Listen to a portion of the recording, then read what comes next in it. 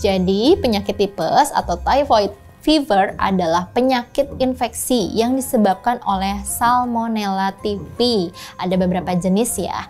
Penyebab penyakit tipes itu karena fekal oral atau penularannya melalui makanan yang dihinggapi e, mungkin lalat atau vektor yang membawa penyakit Salmonella typhi atau bakteri Salmonella tadi. Dari mana asalnya bakteri tersebut? Bakteri tersebut berasal dari tinja atau feses seseorang yang sudah terinfeksi sebelumnya.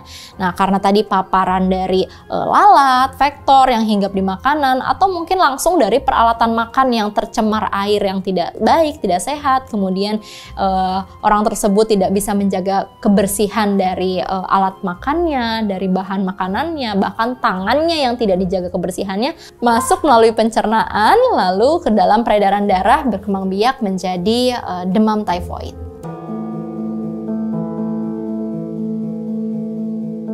Sebenarnya semua orang bisa beresiko ya kalau tidak bisa menjaga higienisitas atau kebersihan diri. Tapi tentu ada yang lebih beresiko. Yang pertama apabila dia berada di lingkungan yang kotor, yang jorok, yang sanitasinya tidak baik, atau lingkungan yang tidak memiliki jamban. Karena di Indonesia sendiri masih banyak rumah yang tidak memiliki jamban sehingga membuang kotoran sembarangan. Yang kedua, eh, pada orang-orang yang akan melakukan perjalanan ke daerah endemis tadi. Nah, itu mungkin nanti bisa dicegah dengan melakukan vaksinasi. Ketiga, mungkin orang yang kontak dengan pasien tifoid atau berada di sekitar pasien tifoid. Nah, keempat, mungkin orang analis atau laboratorium yang sudah terbiasa setiap harinya memeriksa spesimen-spesimen atau bakteri sehingga mungkin suatu hari bisa terkontaminasi. Kemudian yang kelima, anak-anak itu sering. Yang keenam, lalu uh, orang dengan imunitas yang rendah seperti pada penderita eh, HIV atau mungkin imun pada terapi imunokompromis atau pada lansia atau pada orang yang kelelahan, uh, kurang istirahat sehingga daya tahan tubuhnya menurun. Nah, orang-orang tersebut rentan terkena infeksi dari Salmonella typhi.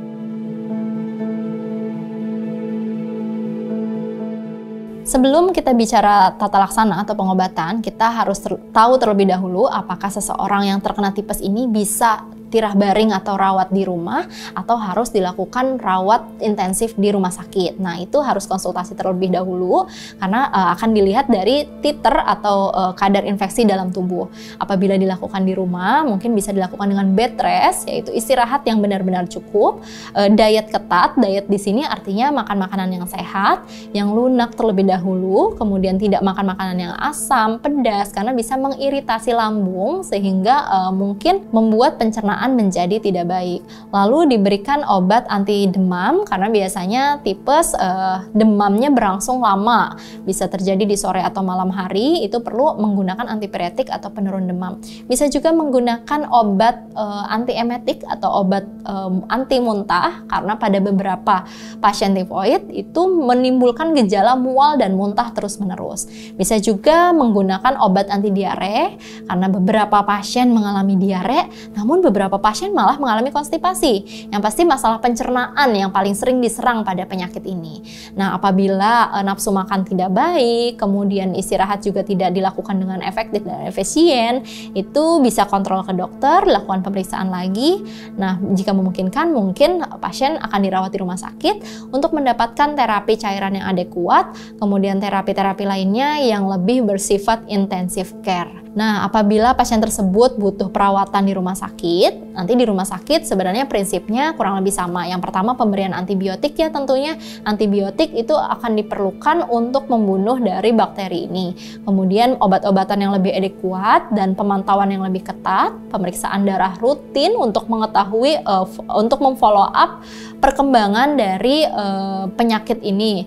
Kemudian pasien juga biasanya diberikan uh, cairan yang adekuat dengan uh, cairan elektrolit untuk memastikan tidak ada dehidrasi yang terjadi terutama pada pasien-pasien tifoid yang disertai dengan diare. Tentunya di rumah sakit akan lebih dilakukan uh, pemeriksaan laboratorium darah, pemeriksaan kultur feses atau tinja, lalu pemeriksaan laboratorium lainnya, juga penanganan yang lebih ketat karena di bawah pemantauan dokter spesialis penyakit dalam.